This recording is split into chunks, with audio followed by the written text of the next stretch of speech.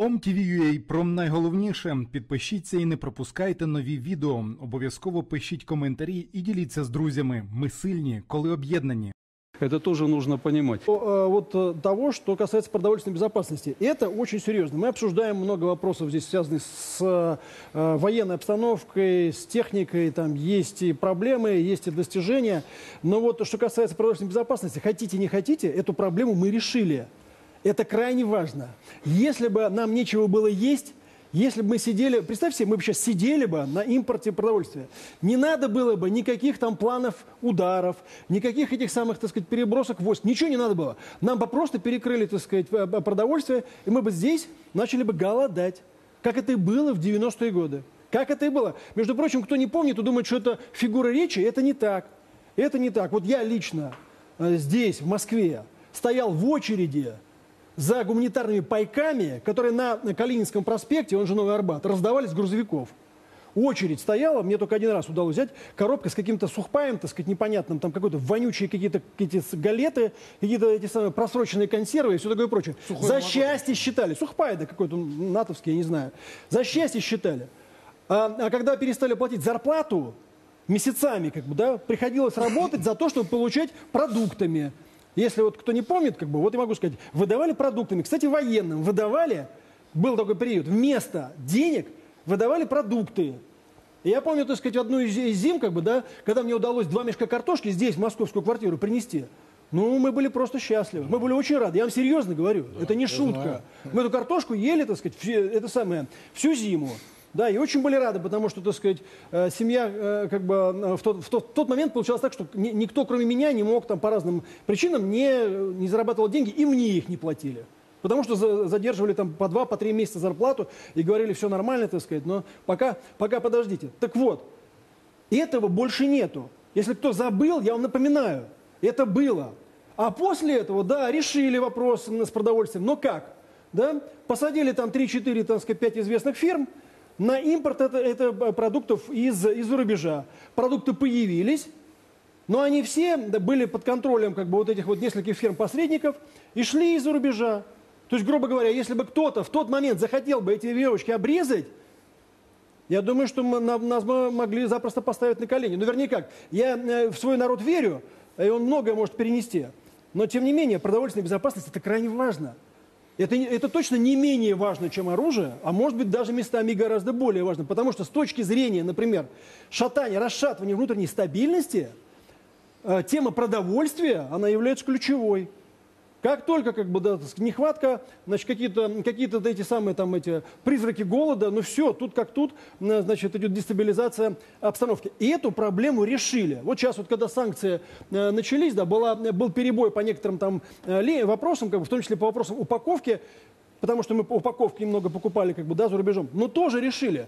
Опять же, тут, тут не надо как бы, да, никаких этих самых, э, э, никаких, так сказать, этих выдумок, да, просто зайдите в любой магазин и посмотрите, пройдитесь по полкам, кто это производит. Есть, правда, проблема, некоторые производители до сих пор принадлежат иностранным компаниям, но на самом деле и это количество, так сказать, компаний сокращается. Это реально так. И это, на мой взгляд, здорово. Я считаю, что государство должно и впредь этому уделять первостепенное значение. Плюс говорили о развитии села, что тоже важно, потому что если сельская местность полностью вымрет, а нас всех соберут как бы, да, в 5-6 больших агломераций, там, ну пусть даже 7-8, потому что это банковскому бизнесу, условно говоря, выгоднее, да, но это будет конец для России. Поэтому обсуждение, в том числе стратегии пространственного развития, которое сейчас идет, в том числе в ходе встреч президента, да, это очень важно. Мы здесь, когда послание обсуждали, тоже об этом упоминали. По поводу предложений, буквально там пару слов. Вот когда э, э, было предложение, э, значит, по поводу создания зерновой биржи БРИКС, это как раз ровно та тема, которую мы здесь много лет обсуждали, да. Надо создавать параллельные структуры. Нас давят там, так сказать, пытаются перекрывать кислород здесь, не дают возможности как бы торговать в третьем месте, обкладывают санкциями. Выход только один. Да? Ну, вернее, главный, главный так сказать, способ – создавать собственные структуры. Поэтому, когда президенту предложили как бы, да, вот на, на идею насчет э, зерновой биржи э, БРИКС, и он сказал, что он обсудит. Э, но это абсолютно уместная идея. Кстати говоря, я не знаю, опять же, я не, здесь не это самое, не этот самый, как так сказать, понятно, не специалист по биржам, но тем не менее. А может быть, мы и сами могли бы это инициировать, не дожидаясь, пока мы договоримся с кем-нибудь там, пока мы кого-то уговорим, потому что внутри этого сообщества есть и, прода... есть и, и производители зерна, и его покупатели. И мне кажется, если мы начнем, то есть не будем там, условно говоря, ждать, пока там, условно говоря, этих спросим, тех спросим, они там будут там месяц, два, три думать, а между прочим, как бы, да, для нашего зерна сейчас создают уже довольно большое количество проблем, да. Если мы, может быть, сами начнем это делать, глядишь, так сказать, да, и остальные подтянутся. OMTV.ua про головне. Выводы делайте сами. А, Да, появились кадры уничтожения Хаймерса, первые кадры. Также мы видели уже кадры уничтожения третьего Абрамса, или, может быть, их уже было больше, неважно.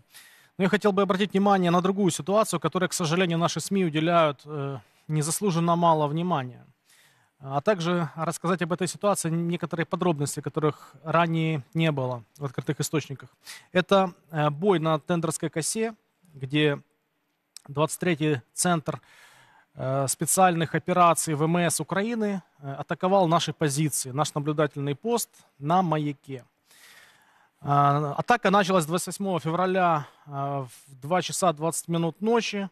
А, Наш э, один из бойцов дежурной смены увидел приближающиеся катера.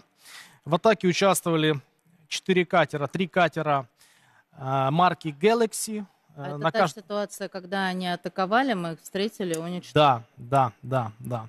Мы говорили об этом. Да, но есть некоторые подробности, которые я бы хотел озвучить. Ага. Также я хочу сказать, что наши СМИ, к сожалению, недостаточно внимания уделяют этой ситуации. Почему-то до сих пор, ну вот, к примеру, нет э, интервью этих бойцов, да.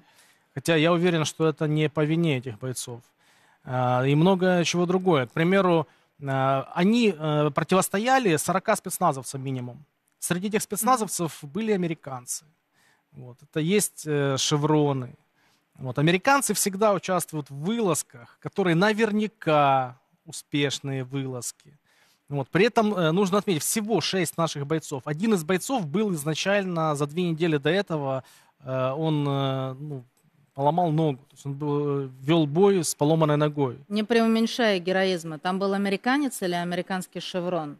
Просто Нет, были, э, были данных. особые американские шевроны, которые вряд ли бы украинец на себя... на- Там не просто был флаг США. Вот, ну, я думаю, об этом информация позже будет. Вот, кстати, были подобные вылазки, где американцы принимали участие, ну, э, так называемые наемники, то есть не кадровые американцы. Они э, очень любят операции совместно с ГУР или другими силами специальных операций э, Украины именно на наблюдательные пункты. То есть это дальние позиции, где немного людей, где э, победа, в принципе, у них как бы в кармане. Вот. И первые кадры, которые появились с американскими наемниками, я их публиковал, это, если я не ошибаюсь, июнь 22 года на Запорожском направлении. Там также они были. И также была атака на наблюдательный пункт, как и в этот раз. Підпишіться на канал і не пропускайте нові відео. Пишіть коментарі і діліться з друзями. Ми також будемо вдячні за підтримку нашої роботи на Patreon або інших зручних платформах. Реквізити в описі до відео.